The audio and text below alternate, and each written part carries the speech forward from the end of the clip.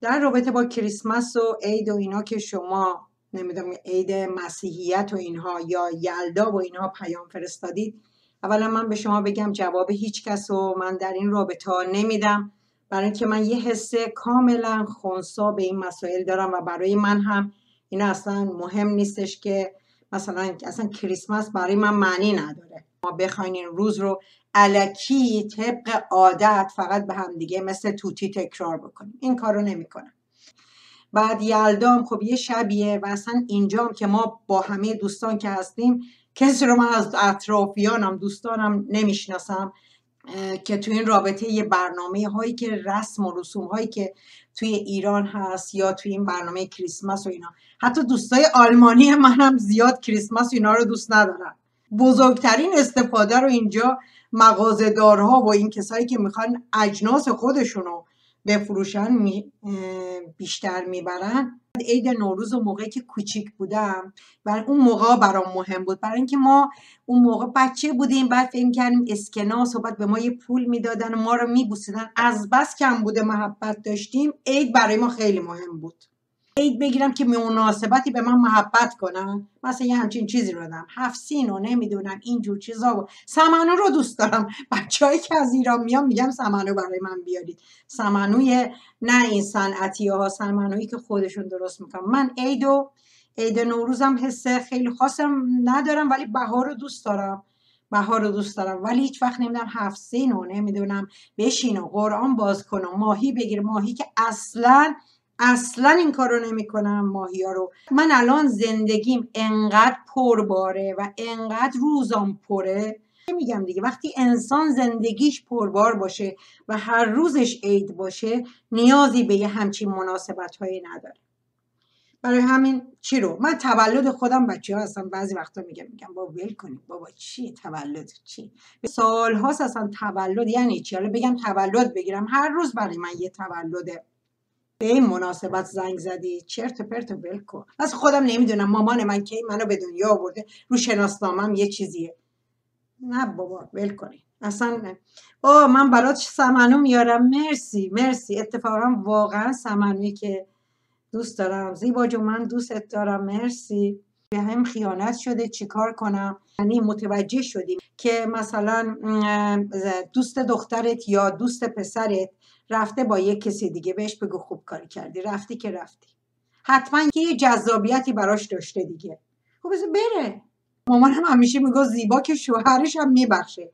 خودم تشویق می‌کردم با زنهای دیگه ای برم. اگرم میفهمیدم با یه زنی رفته یا رفتی که رفتی دیگه. خیانت اون موقع است که طرف حق تو رو حق مشخص تو رو یه بارم در رابطه با خیانت صحبت کردم یه قراری رو با هم گذاشتید یک برنامه رو گذاشتید بر ضد اون قرار انجام داده.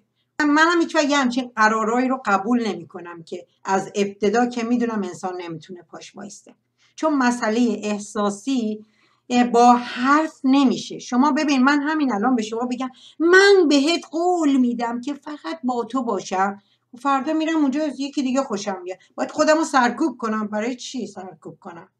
کتاب عادتی عادتی از مهمترین کتابای منه و این کتاب در واقع این که ازش سوال کردید دیدگاه های منه. اون کتاب های دیگه هم کتاب های زندگی ناممه ولی در این کتاب من دیدگاه گفتم. مثلا نظر خودم در رابطه با خدا نظرم در رابطه با ازدواج نظرم در رابطه با فرزند. بر چه مبنایی فرزنددار نشدم و نخواستم من فرزنددار بشم. چند تا از این تیترا رو براتون می‌خونم. از من کسی پرسید فرزندداری؟ دیوانه شو دیوانه شو که یه آوازه که من چیز تنها آوازی که خوندم با یه موزیک و اینا همون دیوانه شو هست. گاه هم در مورد خودکشی گفتم. درد دل یک دوست که در رابطه با هم جنسگرا گفتم. نظر خودم رو در به من کسی گفت بی غیرت در رابطه با غیرت و ناموس صحبت کردم. در رابطه با آبرو آبرو صحبت کردم. و و و در رابطه با دزدیام صحبت کردم. این کتابیه که یه سری دیدگاه مطرح کردم.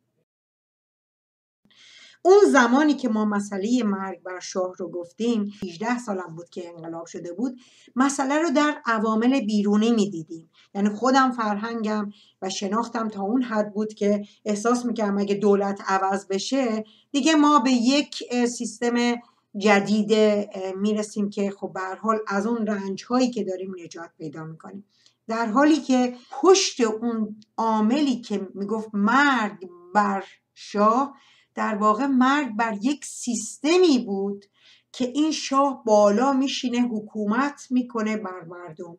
دقیقا همین سیستم در خانواده هست. و ما این مسئله رو جرأت کردیم به عاملی که در بیرون هست خیلی راحت تر بگیم تا به اون عاملی که ما هر روز به طور عینی باهاش روبرو هستیم. یعنی پدر یا اون سیستم که حالا بعدها مادر سالاری و بعدها در یک مرحله دیگری فرزند سالاری. به هر حال سالاری. حاکمیت این یکی بر اون یکی و اینکه تو باید برای من این کاری بکنی. تو باید این باشی و تو باید باید باید ها مسئله این نیستش مرگ بر پدر یعنی پدرمون بمیره. نه. مسئله مرگ بر پدر مرگ بر سیستمی که در یه خانواده یه کسی بر اونای دیگه حکومت می‌کنه و این پدر سمبولشه شما فکر کن اجازه یک زن دست شوهره. اجازه بچه ها دست پدره. و این یک سیستم غلطیه. یک سیستم برابر نیست که بچه در یک رابطه برابر با پدر و مادر یک حق برابری رو داشته باشه. برای همین من این رو خواستم یعنی بچه که این استوری رو می‌بینن سوال بشه که چرا این مسئله؟ مسئله رو در عامل بیرونی نبینیم بلکه بیاریم در عوامل درونی. ما امروز کلی کلی مواد غذایی نجات دادیم. نزدیک های کریسمس این فروشگاه که میبندن سه روز بعد ایمیلی برای من دیروز اومد که یکی از این بچه هایی که خیلی بچه های خوب توی این فود شیرینگ هستن گفتم ما یه برنامه یعنی این یه بذاره برنامه منو تغییر داد. مجبور شدم حدود 5 6 نفر 5 6 نفر 7 8 نفر از بچه ها رو بسیج کنم که بیان این مواد غذایی ها رو نجات بدیم. برای اینکه فروشگاه ها یعنی چند تا تریلی ها اینجوری تریلی تریلی می مواد برای اینکه بسته میشه فروشگاه ها که می‌خواست از سه روزه بسته بشن مواد غذایی رو دیگه بعد از سه روز نمی‌تونستن بفروشن. باید یه مواد غذایی جدید بیارن. اینو به اون سازمانی که مواد غذایی که ما تقسیم می‌کنیم رایگان بین همه آشپزخونه بالکن روی میز اونجا اینا همه پر مواد غذاییه که ما همینطور اینو الان تا سه چهار نفر اومدن تو به همه میدیم ببرم این برنامه در واقع برنامه شد که همون روز یکشنبه به ما ایمیل رسید بچه به من از طرف اون مسئول اونجا. که بعد گفت بچه ها خواهش می‌کنم هر کی رو می‌تونید بیارید. منم به این اون اسمس که بیایید مواد قبل گفتم از لایو مهمتره از برنامه های دیگه مفید. این وسط هم دو تا جلسه روان درمانی گروهی داشتم. وسطش این بچه ها رو گفتم گفتم بچه همه تو بیا یک کیف بردارید. هر چقدر می‌تونیم میریم تو راه و تو راه هم حرف می‌زنیم هم بحث می‌کنیم هم هم این که این مواد غذایی رو هر کسی در هر حدی که می‌تونه نجات بده و پخش کنه بین انقدر نونای گرون کیک های چیز نمی‌دونم. ساندویچ ها نمی‌دونم کاهوش شیرینین اما اقسام چیزایی که بگید دیگه. ما اینا رو پر کردیم. دیگه من نگاه کنید سه, سه تا ناخونم شکست.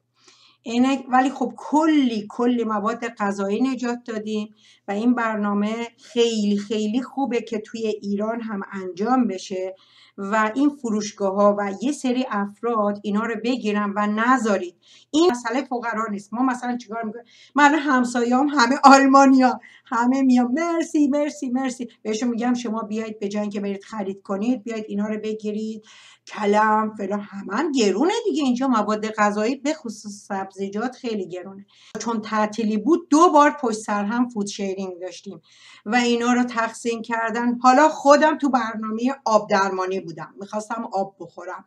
نمی‌دونم میوه بخورم. توی سه روز هفته گذشته دو روز فقط میوه میخوردم.